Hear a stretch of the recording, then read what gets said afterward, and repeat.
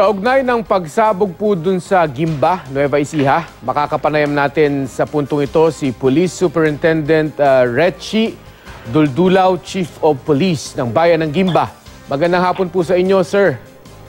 Ah, magandang hapon po. Ah, ah, ma'am po ako, Ah, Mike. I'm so sorry, ma'am. Oh, magandang Yes. hapon, ma'am. Ma'am, kamusta po ang uh, update sa investigasyon po ninyo doon sa pagsabog na iyon na nangyari? Ah, ah, yung pagsabog na nangyari, eh, merong tayong isang casualty at ah, dalawang ah, nasa ospital pero yung isa lang ang critical. Ah, ang pagsabog na yun, eh, ah, ah, wala pa tayong ah, post-blast investigation na ibinigay ng EOD. Ah, ongoing pa, kaya hindi ko pa masasabi kung anong ano. Kasi doon lang ako magre-rely sa ano sa post-blast investigation ng EOD. Mm, yung sinasabi pro, yung sinasabi po nila yung anggulo na ito daw ay gawa ng ah, NPA ng mga rebelde, wala pa rin humbasihan na magsasabi na ganun nga ang anggulo na ito.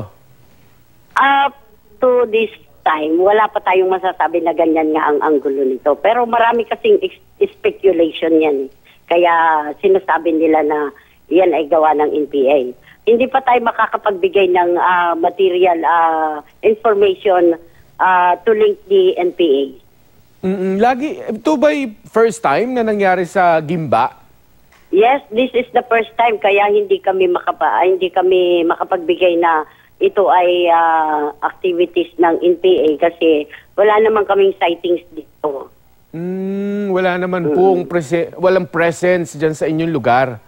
Oh, wala oh, actually walang sightings dito sa lugar ng Gimba, pero sa aming Karatig ah, bayan may mga sightings tayo. Oho. Ma'am, linawin ko lang ho ah, lima ang nasugatan ano ho?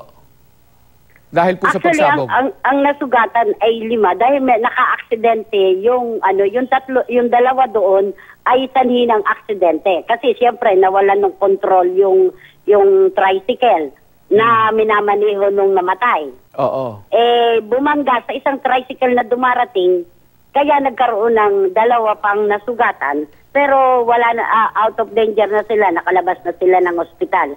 Ang isang nasa ospital lang ay yung back rider nung namatay. Ah, okay. Sige. Maraming salamat Okay. po sa inyo, ma'am, sa oras ninyo.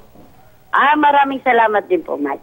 Okay, si Police Superintendent Rechi Duldulaw, Chief of Police ng Bayan ng Gimba.